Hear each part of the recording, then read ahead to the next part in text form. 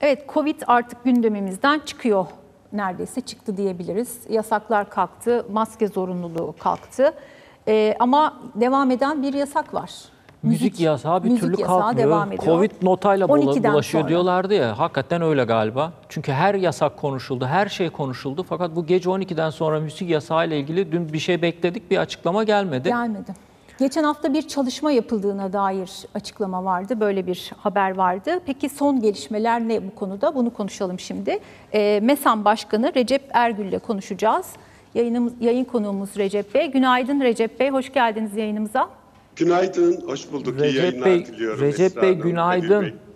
Bu e, Covid'de her şey kalktı. Maskeler okullarda, kapalı alanlarda, bir tek e, metroda, otobüslerde, bir de gece saat 12'den sonra müzik, canlı müzik yapan mekanlarda yasak. Bir dünden beri bir konuştunuz mu kimseyle nedir, niye devam ediyor bu yasak? Siz nedeni bekliyor nedir? muydunuz dün bu müzik yasağının da kalkmasını? Önce öyle, öyle başlayalım Herhalde dilerseniz. bekliyorlardır diye Tabii, tahmin ö- ediyorum. Öyle bir talebimiz e, vardı yetkililerden. Bununla ilgili gerçekten çok ciddi bir çalışma yürütmüştük. Hatta öyle ki e, bundan 10 ay önce Kültür ve Turizm Bakanımız Sayın Mehmet Nuri Ersoy'u ziyaret ettiğimizde e, bu talepte bulunduğumuzda kendisi bize şunu söylemişti. E, hala eğlence mekanlarının e, yüzde 130, yüzde 140 kapasiteyle dolu dolu olduğunu görüyoruz ve buralarda Covid bulaşma riski var demişti. Haklıydı gerçekten. Sizler de yardımcı olun bize. Biz e, toplumun genel olarak aşı olması için bir çalışma yürütelim ve biz bunu yaptık. E, çeşitli kamu spotları çektik e, bu konuda. Demek ki bilim kurulu da artık aşılamanın istenilen seviyelere geldiğini görmüş olacak ki e, maskeyi kaldırdı ve artık yasaklar topyekün kalktı. Fakat bir şey kalıyor geriye. Demek ki Covid denilen illet gece saat 12'den sonra bulaşıyor ve bir de müzikle bulaşıyor. Bunu e, fark ediyoruz. E, bilim kurulu hazır böyle bir çalışma yapmışken bu sonucu verileriyle bize paylaşsın. Biz de müziği bırakalım. Onlar da rahat etsinler. Biz de rahat edelim. Ee, şimdi şaka bir yana ama biz dün gerçekten artık bu anlamsız yasağın kaldırılmasını talep e, bekliyorduk. Ee, bir hayal kırıklığı yaşadık müzik camiası olarak. Ee, şimdi bakın şöyle bir şey var. Önümüzde bir bayram var.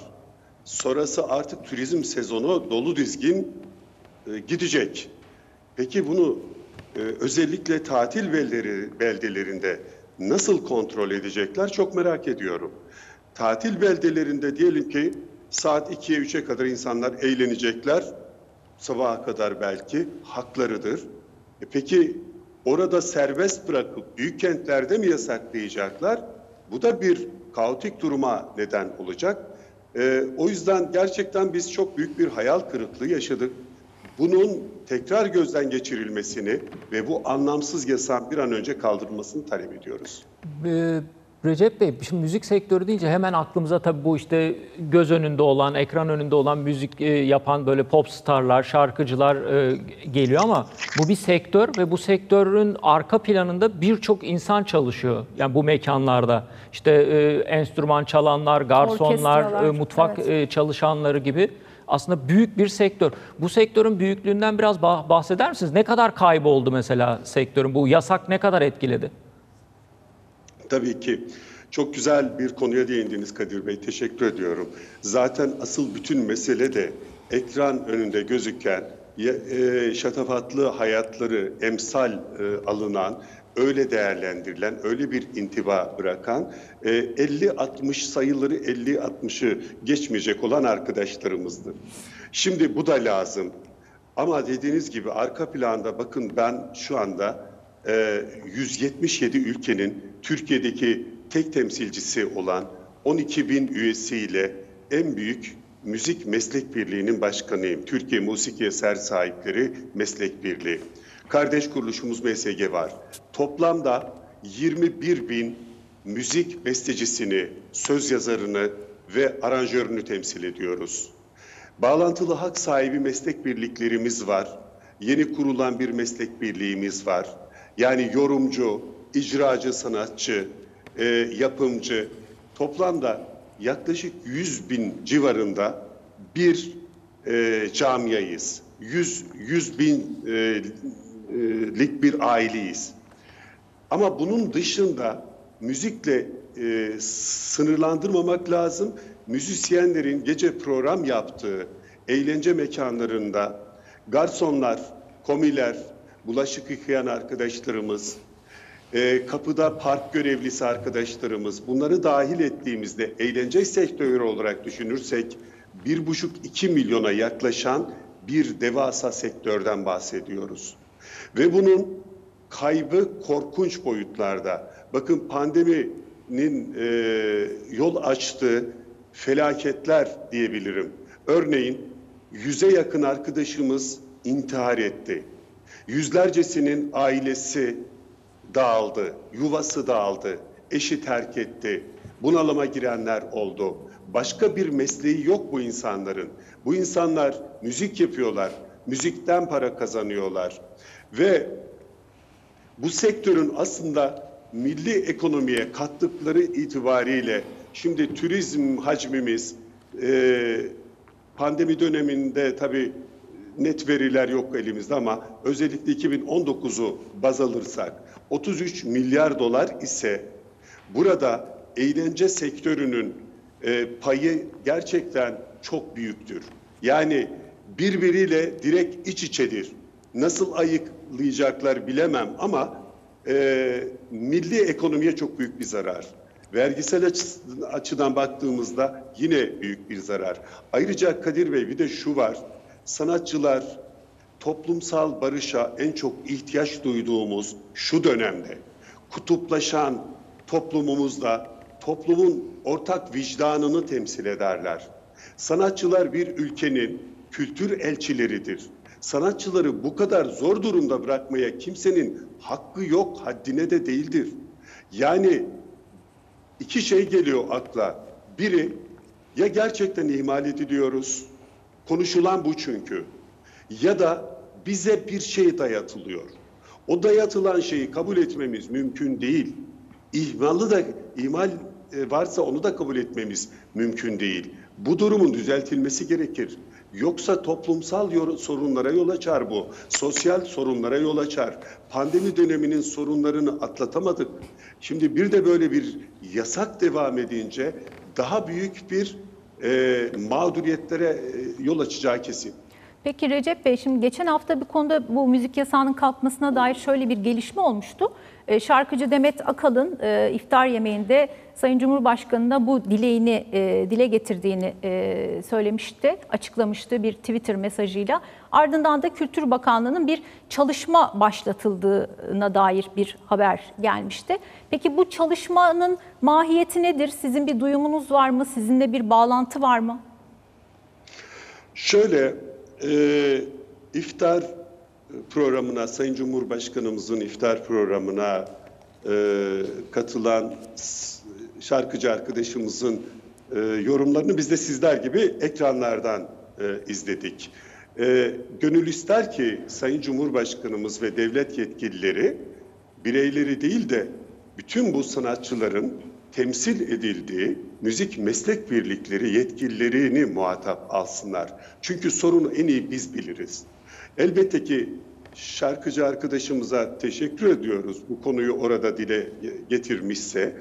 Ee, Sayın Kültür ve Turizm Bakanımız Mehmet Nuri Ersoy konuya çok duyarlı bir e, bakanımız. Kendisi de turizmci olduğu için aynı zamanda aslında eğlence ve turizm iç içe, müzik, turizm iç içe hem Kültür Bakanımız hem Turizm Bakanımız o sorunu biliyor.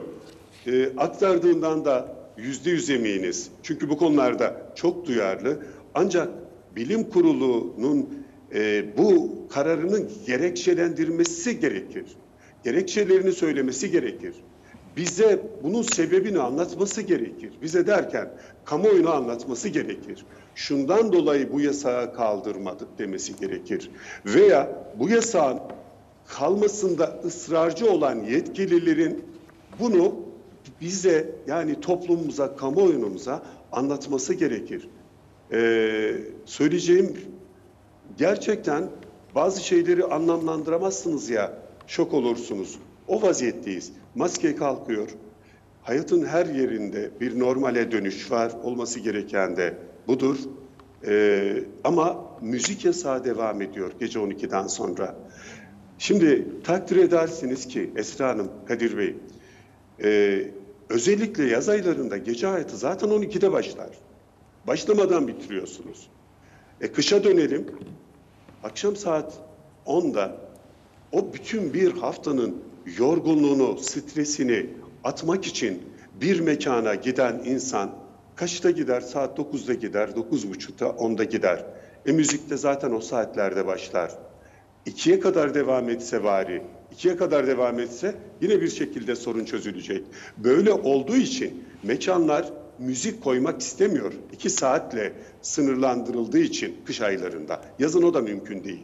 Çünkü şöyle düşünüyor, bana şu kadar maliyeti olan bir müzik grubunu neden getireyim ki? Zaten iki saatte müşteri ne para bırakacak?